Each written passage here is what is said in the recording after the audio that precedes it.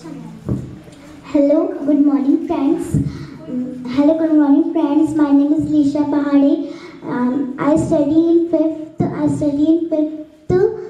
I study in fifth. My topic is my father. My father name is Kailash Pad. He's a good. He's a kind. He's a kind person. He's a good person. He's a farmer and worker. He's a.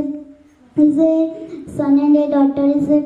Is a two brother. Is a two brother and four sisters and is a.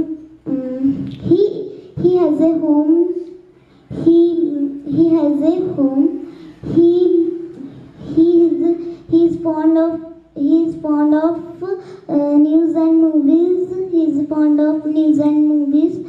I like my father. Mm, over my